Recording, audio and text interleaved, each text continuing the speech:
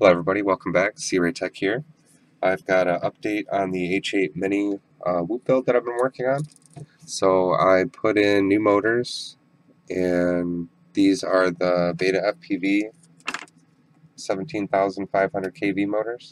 Picked these up on Amazon. I've got a video that I just put up for that, so if you hadn't seen it, check it out. Um, this thing's my fastest tiny whoop to, to date. Um, this thing's awesome. I really curious to see how it would perform with the Insane motors, but I'm pretty satisfied with it as it is right now.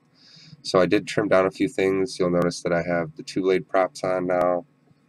Um, I did get a little crazy with the hot glue in the front, but the camera was, was having trouble getting it stick to the frame. Um, I also trimmed down the frame just a little bit more so I could get the flight controller to sit perfectly flat.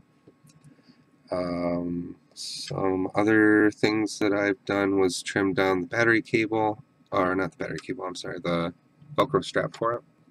So I just cut it down the center so it was a little bit skinnier. And um, I'm getting the same uh, flight time that I do with my other Tiny Whoop build. Uh, there's really no difference in regards to that. I'm still getting about 5 minutes on the 230 milliamp hour batteries. I would say I get I could still get pretty close to that with the 205s, but these are the high voltage batteries, so these seem to be just as powerful. But like I like I said in previous videos, this is right now an amazing deal. So um, that's pretty much it for this.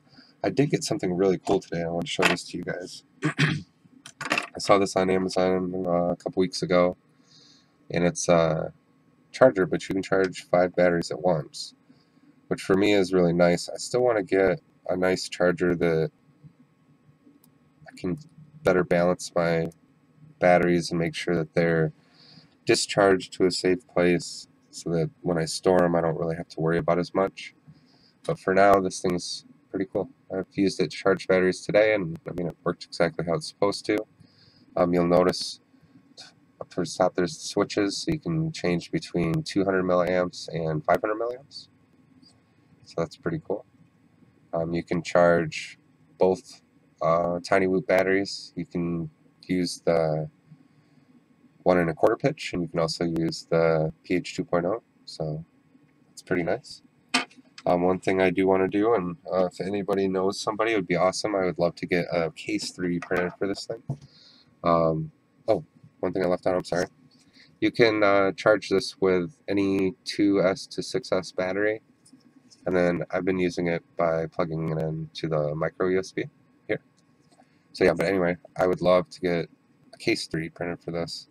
Um, not sure if anybody's out there who's currently made one or knows somebody, but if you could throw something in the comments for me, I'd greatly appreciate that. So um, stay tuned for some future videos. I got some more builds coming up. I got some other things that I'm working on. And uh, and I hope everybody has a good day and remember to fly safe and fly often.